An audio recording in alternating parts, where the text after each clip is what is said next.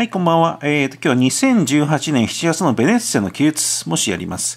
これ生徒から頼まれたやつですけど、X7 番ってやつ。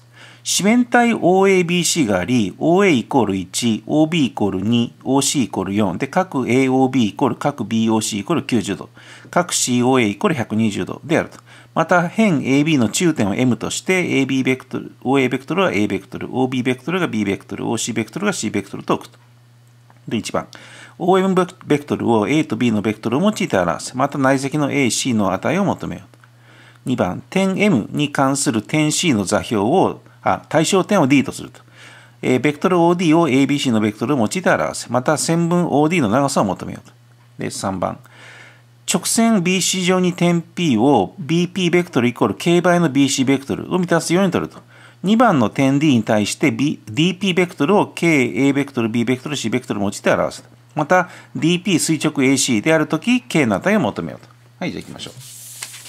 じゃあ図を、ベクトルはね、去年図を書かないといけないので、ちょっと綺麗じゃないですけど、OABC、長さが1、2、4、小文字の A ベクトル、B ベクトル、C ベクトルね。で、角度が90度、90度。で、向こう側が、向こう側の AOC が120度と。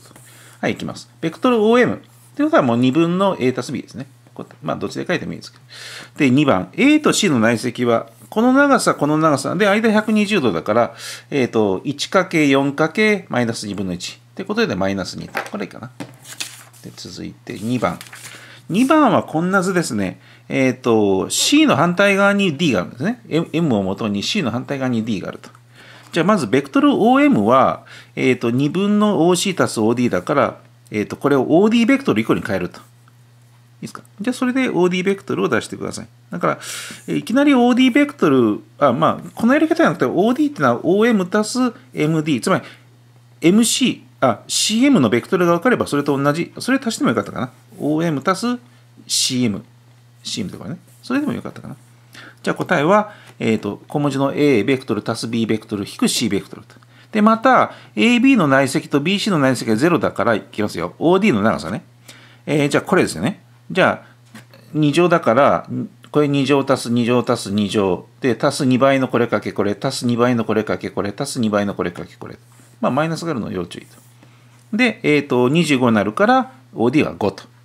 いいかな ?OD は5と。じゃあ、OD が5を使って、使うんかいな。えっ、ー、と、OD が5を使うのか。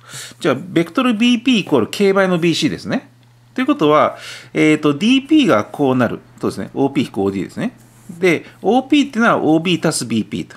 で、これで BP 使えると。じゃあ、えっ、ー、と、OB は、だからこれ展開したらこうなりますよね。これこう代入して。じゃあ OB はこれ、OD がこれと。じゃあ答え、DP ベクトルイコール、マイナス A ベクトル引く K 倍の B ベクトル、足す、カッコ1足す K 倍の C ベクトルと。で、最後はもう垂直だから、まあお決まりのパターンですね。内積0と。じゃあ、これがこれ、これがこれ。じゃあ、書き間違えないように。えー、それがイコール0なんだから、えっ、ー、と、計算さえ間違えなければ、k がマイナス6分の7。マイナス6分の7。そこまでです。いいですかね。はい。じゃあ、以上になります。